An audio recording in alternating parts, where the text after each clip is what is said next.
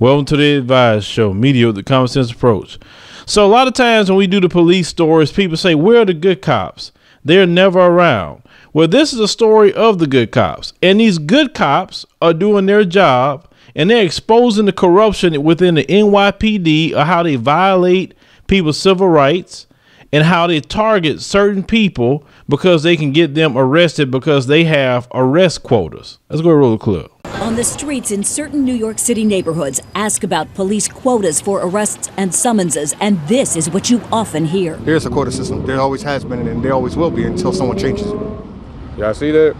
That's what they targeted.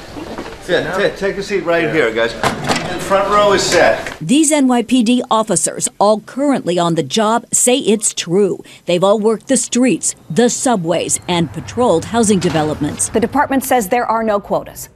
Well, I can tell you, I'm a police officer. There are quotas in the NYPD. Are they lying? Absolutely. It's illegal for them to admit it. They come from different precincts, largely minority neighborhoods in Brooklyn or the Bronx, but their stories are remarkably similar. They tell you this to your face. Black Hispanics between 14 to 21. They must get stopped. They're plaintiffs in a federal class action lawsuit that claims the NYPD is violating a 2010 state ban on quotas, speaking out together for the first time. At the end of the month, these officers, whoever don't have that arrest or those few summonses, they're pressured to find something. You might not see nothing. You're supposed to be visible. You might not see anything, but you go hunting, like bounty hunting for an arrest locking up some, some old guy, some homeless guy, finding somebody who's riding a bicycle on the sidewalk, who's spitting, and you bring him in. The problem is when you go hunting, when you put any type of numbers on a police officer to perform, we are gonna go to the most vulnerable. The most vulnerable. Of course, we're gonna go to LGBT community. We're gonna go to the black community. We're gonna go to those people that have no vote, that have no power.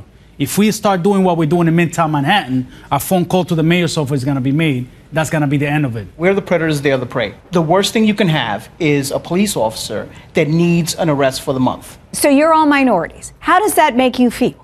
It's, it's horrible. This is something coming from the top that trickles its way down, and this is why we're all here today.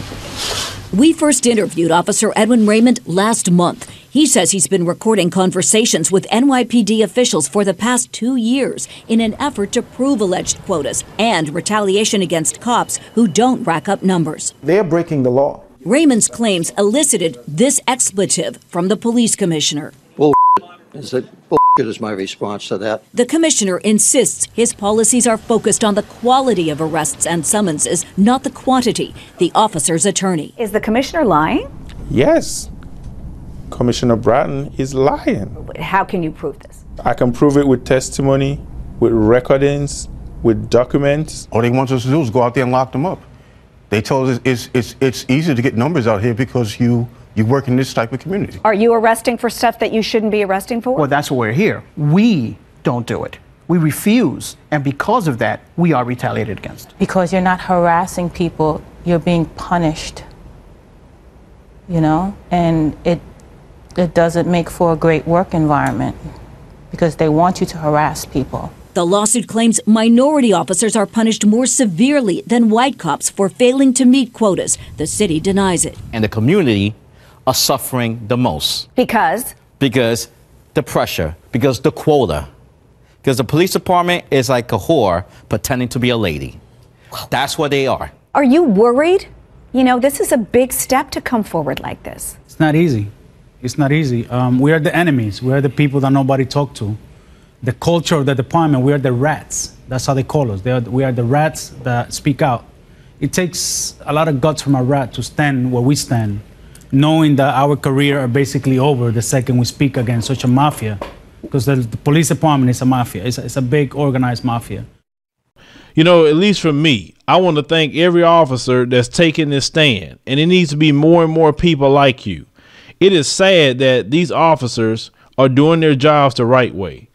That police commissioner, the way he responded to that question, just let me know that what they were saying was true, that they are guilty of having arrest quotas.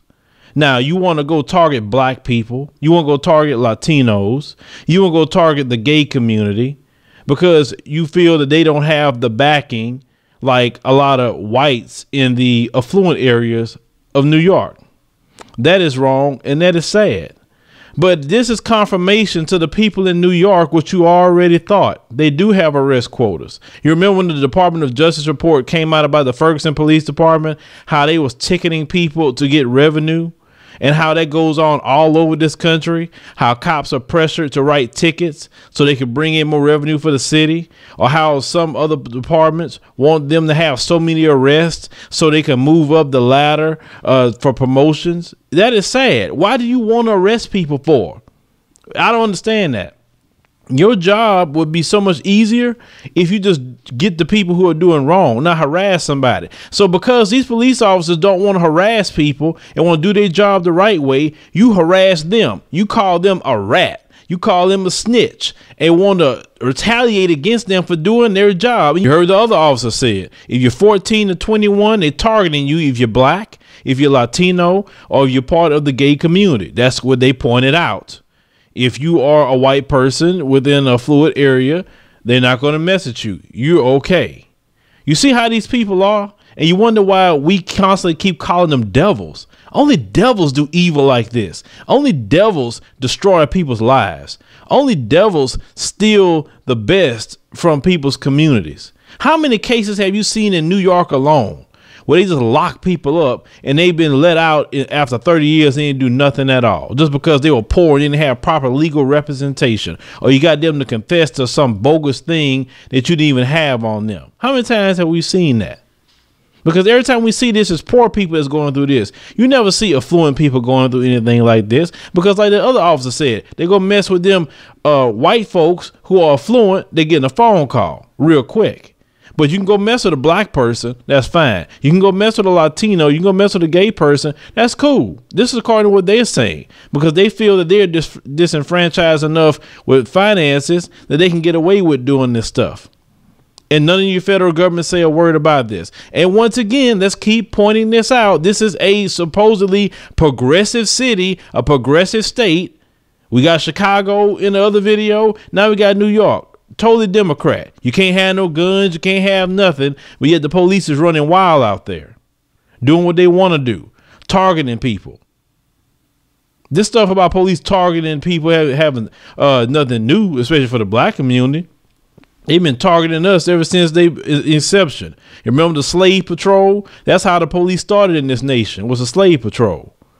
They the sheriff's badge that they wear is the exact same badge from the slave patrol.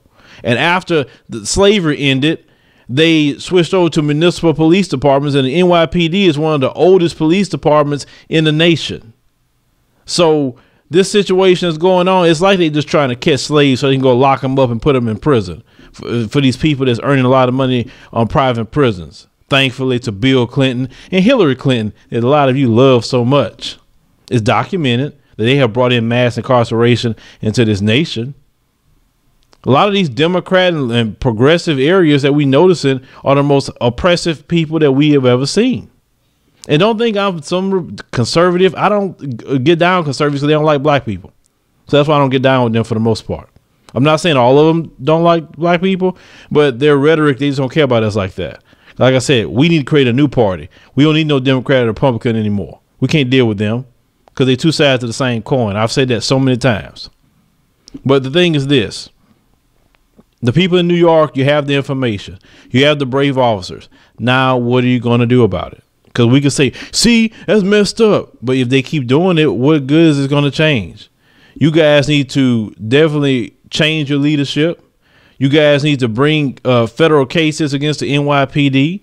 You need to force your president to do something about these police departments. You need to force your Justice Department to do something about these police departments because it's time out for these people getting away with oppressing people. We saw a video we just posted the other day about them putting a guy in a so-called uh, bag so he won't hurt himself, but yet that guy wasn't deserving any of that. All NYPD.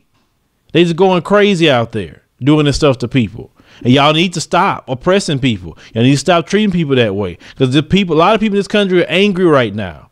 Leave people alone. That's what I'm trying to tell most of you. Leave people alone. Be like those officers. Don't bother people. Just do your job if somebody's doing wrong. That's it. Because the mailman video we saw and all these other videos is coming up out of New York, a progressive state. We can keep saying that, a Democrat state. is just something that's not going to end up good for you. What if the people say we're going to do a strong economic boycott? Or worse, what are you going to do? I mean, people are tired. You can't just treat people like you're slaves. Ain't nobody is a slave in, in, in New York or any part of the America. We have our rights, we have our freedoms. And if you keep doing this, it's not going to be a good thing at the end of the day. Make sure you check out the link in the description box to our the studio we're building is one campaign. We're building a TV ready studio. Check out the description on the GoFundMe and please consider donating. Now, if you'd like to donate privately, you can do it on adviseshow.com. Click the donate tab. Hit me up in the comments, future commentaries, subscribe.